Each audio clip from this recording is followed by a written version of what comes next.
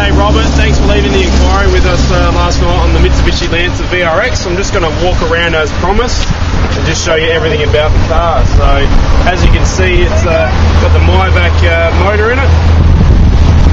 The uh, huge alloy wheels on it, uh, they're 18 inches in size and pretty much all of them are unmarked as well. This is a, a one local lady owner, owner car. Come around to the front of the vehicle Again, you can see all the body kit on it, sets it apart.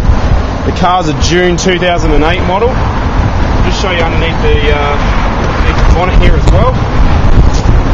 So again, the MIVEC motor under there, two litre, in so very economical. It's got a six-speed transmission through it. We'll just walk around, just show you all the panels of the vehicle. I will just point out there is a couple of little marks on this alloy, nothing too serious, just a little a light glaze there on the, uh, the alloys. Come through to the inside. It's got the smart key technology with it. And just show you through, I'm sure you're aware of most of the features in these cars, they're very nice. Got the paddle shifts, the climate control, uh, the six stacker CD, all the airbags as well come through into the back. Again, you can see all the seats, they've been very well looked after. It doesn't even look like they've been sat in really. So it's all neat and tidy through there. Come around to the back of the vehicle. Again, nothing to really point out on the actual car itself as far as dents or scratches go. I'd point those out for you. I'll just pop the boot for you.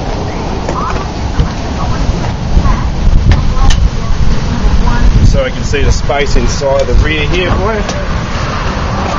There you go. So plenty of space throughout there as well. Come around to the driver's side.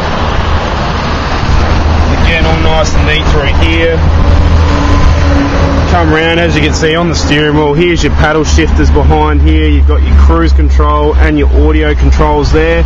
The car's done 55,000 Ks uh, and a very nice car. So hopefully that's enough uh, there to show you. And hopefully we can see you come down with your other half, uh, Robert, and uh, show you the car and have a drive. Thank you.